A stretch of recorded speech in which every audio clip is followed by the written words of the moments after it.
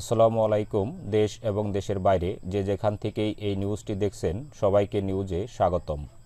বিদেশ ফেরত যাত্রীদের তথ্য থানাকে জানাতে হবে। এই বিষয়টির উপরেই আজকের এই নিউজ। অনেক প্রবাসী ভাইয়েরাই জানতে চেয়েছেন, বিদেশ থেকে আসার পর থানাকে জানাতে হবে না আগে জানাতে হবে। এই বিষয়গুলো নিয়েই আজকের এই নিউজ। আশা করি সম্পূর্ণ নিউজটি জেনে নেবেন। সম্ভব হলে এই ভিডিওতে একটি লাইক দিবেন এবং বন্ধু বান্ধবের কাছে ভিডিওটি শেয়ার দিয়ে জানিয়ে দিবেন। তো চলুন বন্ধুরা, বিস্তারিত নিউজটি জেনে নেই।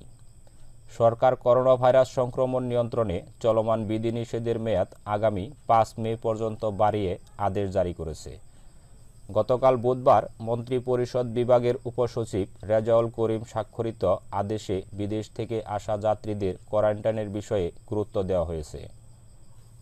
আদেশে বলা হয়েছে মধ্যপ্রাচ্য সিঙ্গাপুর, মালয়েশিয়া ও চীন থেকে যেসব যাত্রী টিকা নেওয়ার সনদ ও করোনা নেগেটিভ সনদ নিয়ে আসবেন, তারা নিজ বাড়িতে চোদ্দ দিন কোয়ারেন্টাইন থাকবেন।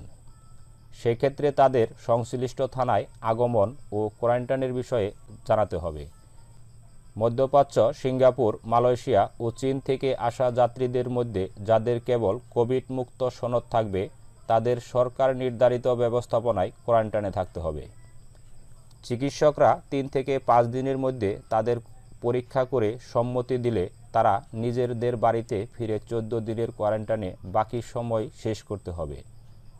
সেক্ষেত্রে তাদেরকেও সংশ্লিষ্ট থানায় অবহিত করতে হবে। সরকার নির্ধারিত হোটেলে অন্যান্য দেশ থেকে আসা যাত্রীরা নিজ খরচে চোদ্দ দিনের কোয়ারেন্টাইনে থাকবেন। তো বন্ধুরা, এই ছিল আজকের এই নিউজ আশা করি পরবর্তী নিউজের জন্য এই চ্যানেলটি সাবস্ক্রাইব করে পাশে থাকা বেল বাটনটি অন করে রাখবেন। তো সবাই ভালো থাকবেন, সুস্থ থাকবেন, এই কামনা করেই আজকের মতো বিদায় নিচ্ছি। আল্লাহ হাফেজ।